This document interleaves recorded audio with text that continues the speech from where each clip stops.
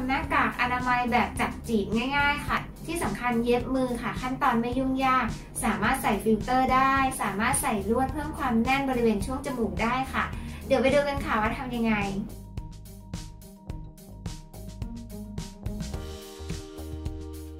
ผ้าที่ใช้นะคะเป็นผ้ามัสลินค่ะ ความกว้างอยู่ที่ 19เซนติเมตรค่ะ ยาว 32เซนติเมตรนะคะ จะใช้เป็นผ้าชิ้นเดียวก็ได้ค่ะ เพราะว่าทำออกมาแล้วเนี่ยจะหนาทั้งหมด 2 ชั้นนะคะ หรือว่าถ้าเกิดใครเนี่ยจะใช้ผ้า 2 ชิ้นนะคะ ทบกันก็ได้ค่ะ ความหนาออกมาเวลาทำเสร็จก็อยู่ประมาณ 4 ชั้นค่ะมิ้นจะใช้เป็นผ้าชิ้นเดียวนะคะ พอเราตัดผ้าได้แล้วเนี่ยเราก็พับครึ่งค่ะ ให้ชายผ้าพอดีกันนะคะ และใช้มือของเราค่ะ กรีดผ้าให้เรียบ ชายผ้าเมื่อสักครู่นะคะที่เราพับครึ่งมานะคะ เราจะวัดจากชายผ้านะคะ ขอบผ้าเข้ามาด้านใน1เซนนะคะ แบบนี้ขีดเส้นค่ะเพื่อจะเป็นแนวให้เราเย็บ พับครึ่งอีกครั้งหนึ่งค่ะ ขีดเส้นตรงกลางค่ะ จากนั้นนะคะ วัดจากเส้นตรงกลางที่เราขีดนะคะ ออกมา4เซนค่ะ แล้วก็ขีดทำเครื่องหมายไว้ค่ะ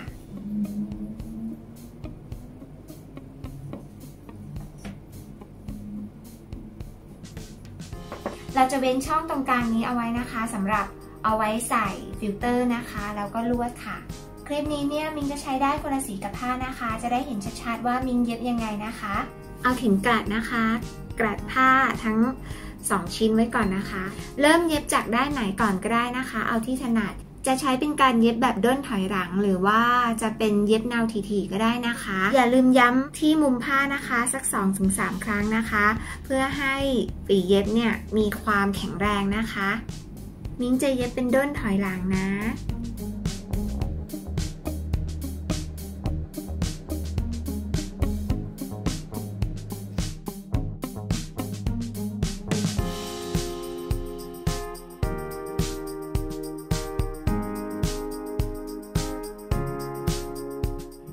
งตรงเส้นที่เราขีดไว้เมื่อสักครู่นะคะ เราก็เย็บย้ำค่ะตรงปลายตรงนี้นะคะ สัก 2-3 ครั้งค่ะ ให้สีเย็บเราแข็งแรงนะคะ ทีนี้ตรงนี้เนี่ยค่ะที่มิ้งขีดเอาไว้นะคะ เราเย็บตามเส้นนะคะขึ้นมานิดนึงประมาณ 1มิลค่ะ แบบนี้นะ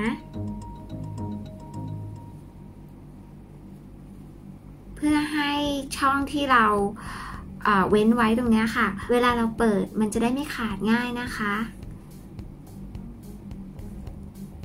เย็บสัก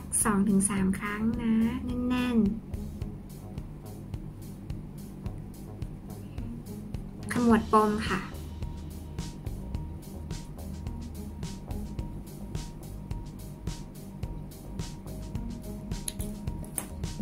ก็ทำต่ออีกข้างหนึ่งนะคะ เย็บเหมือนกันเลยค่ะ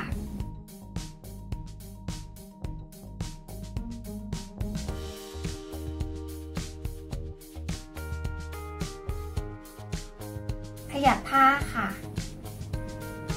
ให้แนวที่เราเย็บเมื่อสักครู่นี้นะคะ ขยับมาอยู่ตรงกลางค่ะ คลี่ขอบที่เราเย็บเมื่อสักครู่นี้ค่ะออกมา แล้วก็ใช้นิ้วกรีดค่ะ ให้เขาเรียบ หรือว่าใช้เตารีดก็ได้นะคะ แต่ว่ามิ้งใช้นิ้วนะ เพราะว่าผ้ามิ้งมันกรีดแล้วก็เรียบอะค่ะ พอผ้าเนี่ยพับขึ้นมาแล้วนะคะ เขาจะมีความยาวอยู่ที่ 15 เซนค่ะ ครึ่งหนึ่งก็อยู่ที่ 7.5 นะคะ ให้ 7.5 เนี่ยค่ะ อยู่ตรงกึ่งกลางที่เราเหยียบไว้เมื่อสักครู่นี้นะคะ รีดสองข้างให้เรียบค่ะ เอาเข็มกลัดนะคะมากลัดผ้า ไม่ให้ดิ้นนะคะ เดี๋ยวมิ้งนะคะจะเย็บยางยืดนะคะสองข้างเล็กๆตรงนี้นะคะ เพื่อเอาไว้สอดลวดค่ะ พับครึ่งนะคะ หาจุดกึ่งกลางค่ะ มาร์กไว้ทีนี้เนี่ยวัดจากกึ่งกลางนะคะ ออกมา 2 เซนค่ะ ขีดเอาไว้ค่ะ วัดยางยืดนะคะ 2 เส้นนะคะ เส้นละ 1 เซนค่ะ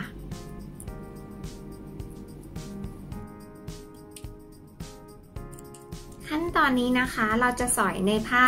ชิ้นแรกสุดนะคะ วิธีที่จะทำให้เราเย็บไม่ติดผ้าชิ้นที่ 2 นะคะ สอดไม้บรรทัดเข้าไปค่ะ ด้านในของผ้านะคะ แล้วก็เอาเข็มหมุดล็อกไว้ค่ะ ปลายไม้บรรทัดนิดนึงพอ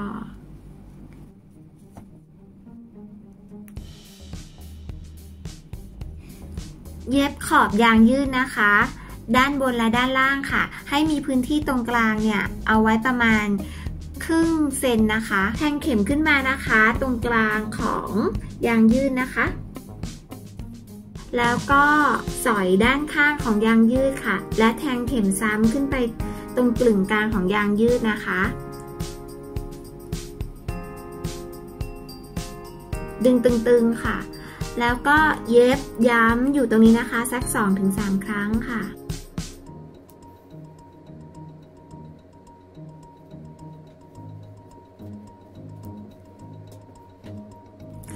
สอดเข็มนะคะ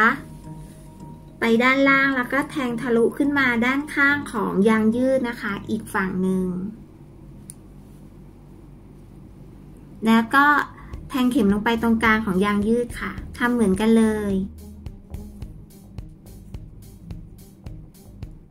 จากนั้นขมวดปมค่ะทำด้านล่างที่เหลือค่ะ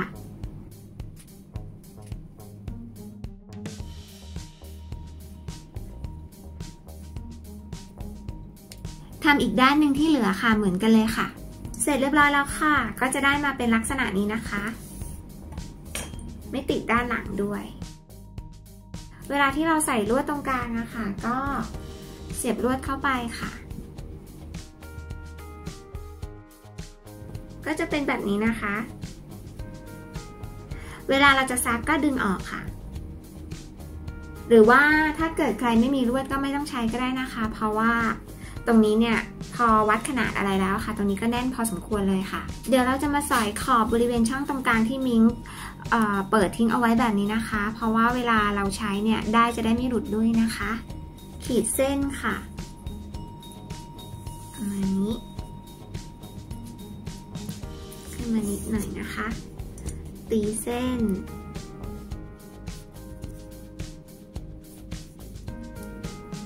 เดี๋ยวเราจะมาสอยตามเส้นที่เราขีดเอาไว้นะคะ ดึงผ้าออกมานะคะ สอยจะได้ไม่โดนผ้าอีกชั้นหนึ่งนะคะ จะใช้ด้นถี่ๆก็ได้นะคะ หรือว่าจะเย็บแบบมิ้งอย่างนี้ก็ได้นะคะ แทงเข็มลงไปก่อนค่ะ แล้วก็ดึงเข็มขึ้นมาแบบนี้นะคะ อันนี้ก็จะเป็นการสอยเหมือนกันค่ะ แต่ว่าเวลาที่เราจะเย็บลงไปอะค่ะ ให้ฝีเข็มอะค่ะ ใกล้กับได้ที่เราแทงขึ้นมามากที่สุดค่ะ เย็บตามเส้นไปเรื่อยๆนะคะ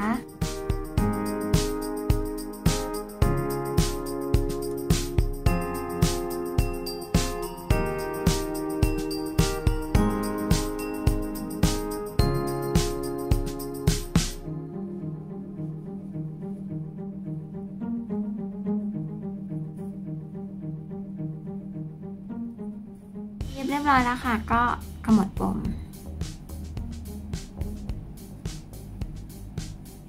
เดี๋ยวมิ้งจะให้ดูด้านหน้านะคะ มันก็จะเป็นลักษณะออกมาแบบนี้ค่ะ จากนั้นนะคะวัดด้านข้างค่ะ ทั้งสองด้านตรงนี้นะคะ เข้ามาด้านละ1เซนค่ะ แล้วตีเส้นยาว เพื่อเป็นแนวให้เราเย็บนะคะ วัดยางยืดค่ะเส้นละ 18 เซนนะคะ ทั้งหมด 2 เส้น 2 เส้นแบบนี้นะคะ สอดยางยืดนะคะ ให้ปลายทั้งสองข้างเนี่ยออกมาค่ะ พยายามให้ขอบยางยืดนะคะชิดติดริมผ้าให้มากที่สุดนะคะ แล้วก็เอาเข็มหมุดกลัดไว้ก่อนค่ะ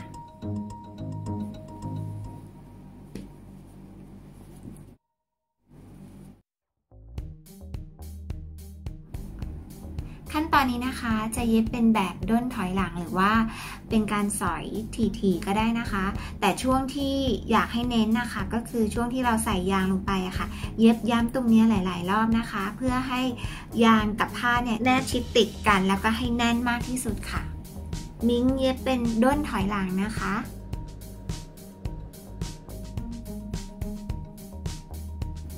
ย้ำไปเลยค่ะตรงนี้ค่ะ กี่รอบก็ได้ เอาให้แน่น ๆ ค่ะ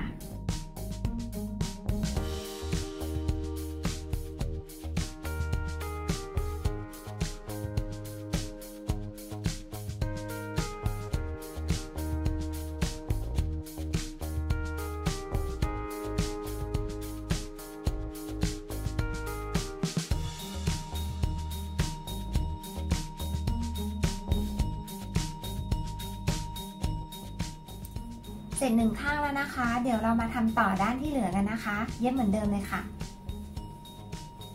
กลับผ้าอีกด้านออกมานะคะ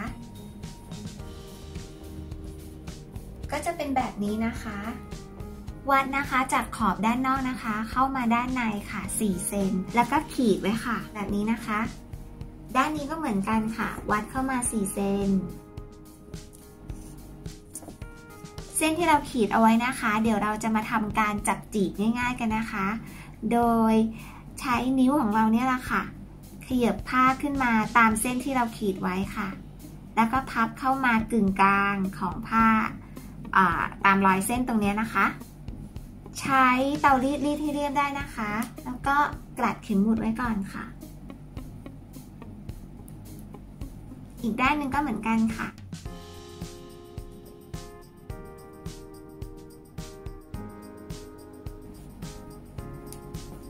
จะเป็นแบบนี้นะคะอันนี้ก็เป็นด้านหน้า เดี๋ยวเราจะมาสอยด้านบนนี้นะคะ ค่อยๆ สอยซ่อนได้บริเวณขอบชิดติดขอบให้มากที่สุดค่ะ แทงเข็มขึ้นมานะคะ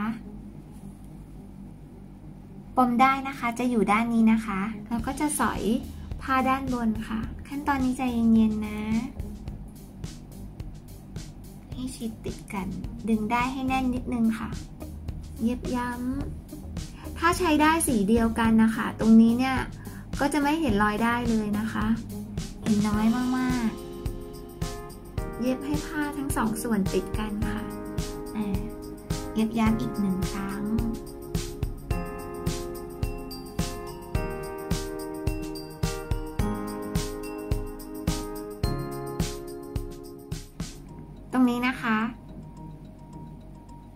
เย็บให้ทั้งสองฝั่งนะคะ ชิดติดกันค่ะ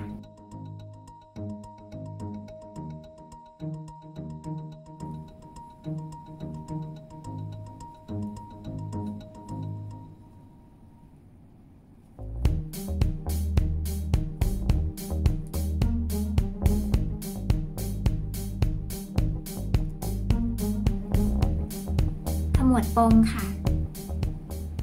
ทีนี้เนี่ยอย่าเพิ่งตัดนะคะ ค่อยๆสอดได้ เข้าไปบริเวณช่องตรงนี้ค่ะ แล้วก็ดึงเข็มขึ้นมา แล้วก็จะซ่อนได้ค่ะ ไว้ด้านใน เรียบร้อยค่ะหนึ่งข้าง ถ้าใช้ได้สีเดียวกับผ้าค่ะขาด้านข้างก็จะเป็นแบบนี้นะคะ เดี๋ยวเรามาทำอีกข้างที่เหลือค่ะ เสร็จแล้วค่ะ ก็จะเป็นแบบนี้นะคะ มีช่องใส่ลวดให้นะคะ เวลาจะใส่ลวดก็กลับออกมาค่ะ แล้วก็ใส่ลวดลงไป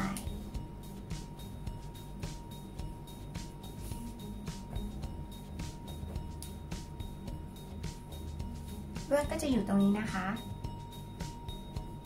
อันนี้คือที่มิ้งทำเอาไว้นะคะ เดี๋ยวมิ้งจะใส่ให้ดูนะคะ แนบหน้ากากค่ะ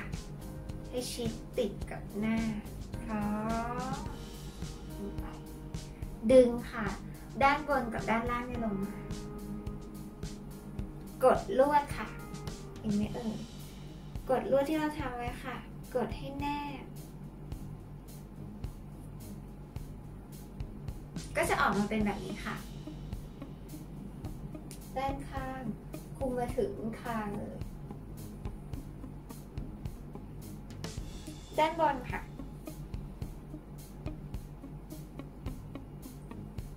โอเคเลยเดี๋ยวมิ้นจะใส่แบบที่ไม่ได้ใส่ลวดให้ดูนะคะว่าเขาจะแน่นเหมือนกันไหมนะคะ